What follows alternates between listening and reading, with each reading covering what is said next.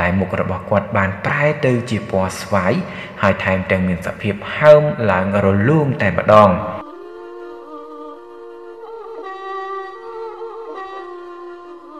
អរុនសួស្តីអ្នករាល់គ្នា ជាបន្តទៅទៀតនេះខ្ញុំបាទនឹងលើកយករឿងពិតខ្លីមួយ ដែលប្អូនប្រុសម្នាក់ឈ្មោះផេងគាត់បានចែករំលែកមកកាន់ខ្ញុំចង់ដឹងដំណើរដើមតងយ៉ាងណាសូមលោកអ្នកតាមដានស្ដាប់រឿងដែលមានចំណងជើងថាខ្មោច ប្រាប់ផ្លូវនិយាយពីរឿងដែលខ្ញុំចង់ចែករំលែកមួយនេះគឺវាទៅតែកាត់ឡើងថ្មីថ្មីមុនចូលឆ្នាំខ្មែរយើងនេះទេខ្ញុំគឺជាអ្នកខេត្តកំពង់ស្ពឺ ហើយកាលពីមួយរយៈមុន មានករណីអត្តឃាតមួយបានកើតឡើងចំពោះបងប្រុសម្នាក់ដែលរស់នៅក្នុងភូមិមួយជាប់ភូមិខ្ញុំនឹងឯងគឺគាត់បានចងកសម្រាប់ខ្លួននៅនឹងដើមឈើក្នុងបរិវេណផ្ទះគាត់តែម្ដង ប៉ុន្តែខ្ញុំមិនបានដឹងថាគាត់សម្លាប់ខ្លួនដោយសារមូលហេតុអ្វីទេរឹតតែមិនដឹងព័ត៌មានថាគាត់នឹងស្លាប់ទៀតផងព្រោះអីពេលហ្នឹងខ្ញុំមិនបាននៅផ្ទះទេទាល់តែមួយអាទិត្យក្រោយពីហេតុការណ៍នោះទើបខ្ញុំបានវិលត្រឡប់មកផ្ទះវិញហើយពេលហ្នឹងក៏ជាពេលដែលគេឈប់និយាយពីរឿងអត្តឃាតនោះទៅហើយរំលងពីនឹងបានមួយរយៈមកទៀតពលគឺគៀកនឹងថ្ងៃចូលឆ្នាំមែនតែនហើយ ល្ងាចនោះកូនប្រុសរបស់ខ្ញុំដែលទៅតែមានអាយុ4ឆ្នាំគាត់ស្រាប់តែកើតមានអាការៈក្តៅខ្លួនជាខ្លាំងពេលហ្នឹងនៅផ្ទះរបស់ខ្ញុំគឺមិនមានថ្នាំសម្រាប់ត្រៀមនោះទេ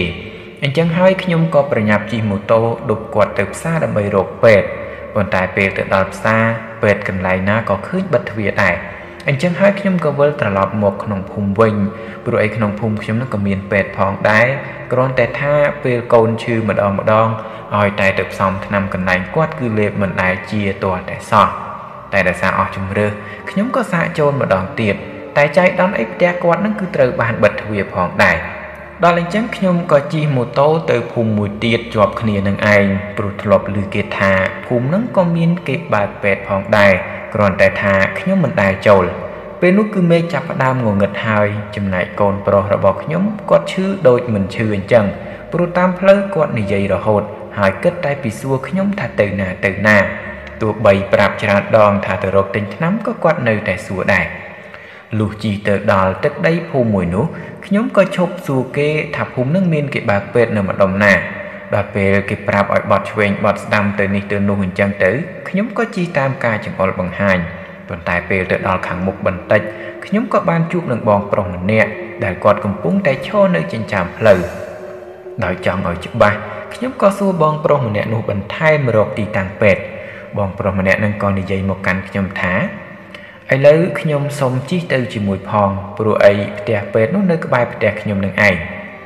ពេលនោះខ្ញុំមិនបានគិតអ្វីច្រើនទេបារម្ភតែម្យ៉ាងគឺកូនរបស់ខ្ញុំកំពុងតែក្តៅខ្លួនខ្លាំង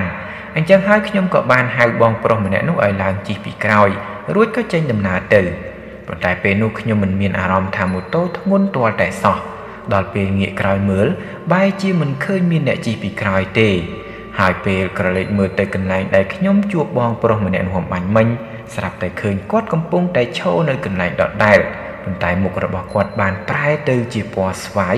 ហើយថែមទាំងមានសភាពហើមឡើងរលោងតែម្ដងឃើញហើយធ្វើឲ្យខ្ញុំភ័យខ្លាំងមែនទែនញ័រដៃញ័រជើងស្ទើរតែបញ្ជាម៉ូតូមិនទៅមុខប៉ុន្តែក្រោយពេលចេញផុតពីកន្លែងនោះបានបន្តិចខ្ញុំក៏មានអារម្មណ៍ធូរស្បើយច្រើនជាងមុនដោយសារងាកឆ្វេងងាកស្ដាំទៅឃើញមានគេមានឯងលុះពេលជិះទៅដល់ខាងមុខបន្តិចទៀត ខ្ញុំក៏ឃើញផ្លាកសញ្ញាលេខបូកដែលសម្គាល់ថាជាសញ្ញាពេទ្យនោះឯងមិនទាន់នឹងបានបត់ចូលផ្ទះពេទ្យនោះផងខ្ញុំស្រាប់តែក្រឡេកទៅឃើញខ្មោចបរោះម្នាក់នោះសាជាថ្មី គឺខ្ញុំអាចចំណាំខោអាវរួមជាមួយនឹងសភាពរាងកាយរបស់គាត់បានយ៉ាងច្បាស់ភ្លាមភ្លាមខ្ញុំក៏នឹកឃើញរឿងមួយ គឺអំបញ្ញមិញខ្មោចបងប្រុសម្នាក់ហ្នឹងគាត់បាននិយាយថាផ្ទះគាត់គឺនៅក្បែរផ្ទះពេទ្យនឹងឯង ភ្លាមនោះខ្ញុំក៏ប្រញាប់ជិះចូលផ្ទះពេទ្យយ៉ាងលឿនជាមួយនឹងអារម្មណ៍ព្រឺព្រួចដូចជាមនុស្សគ្រុនចាញ់អញ្ចឹងក្រោយពេលឲ្យពេទ្យពិនិត្យនិងផ្សំថ្នាំឲ្យកូនរួចហើយទើបខ្ញុំសាកសួរអ៊ំពេទ្យនោះនៅអ្វីដែលខ្ញុំបានជួបមុននេះអ៊ំប្រុសជាគ្រូពេទ្យនឹងក៏ប្រាប់មកវិញថាមួយរយៈមុនបងប្រុសម្នាក់ដែលមានផ្ទះនៅក្បែរគាត់នឹងគឺបានចងកសម្លាប់ខ្លួនគ្រាន់តែឮប៉ុណ្ណឹងខ្ញុំក៏សូមឲ្យអ៊ំប្រុសម្នាក់នោះឈប់និយាយរឿងនឹងបន្តទៀត ព្រោះគ្រាន់តែស្ដាប់ប៉ុណ្ណឹងខ្ញុំនេះឡើងព្រឺសម្បុរខ្លាចខ្លាំងណាស់ទៅហើយបន្ទាប់មកខ្ញុំក៏លាអ៊ំប្រុសនឹងចាក់ចេញមកវិញ ហើយក៏មិនបានជួបរឿងហេតុអ្វីបន្តទៀតដែរដោយសារខ្ញុំសូមឲ្យកូនរបស់អ៊ំពេទ្យនឹងជួយជូនមកដល់ផ្លូវធំមកទល់នឹងពេលនេះខ្ញុំនៅតែស្រមៃឃើញរូបភាពរូបរាងខ្មោចបងប្រុសម្នាក់នឹងនៅជាប់នឹងភ្នែកនៅឡើយទេ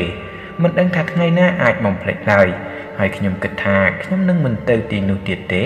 ទោះបីត្រូវរកពេទ្យក៏ដោយក៏ខ្ញុំមិនទៅរកគាត់ទៀតដែរ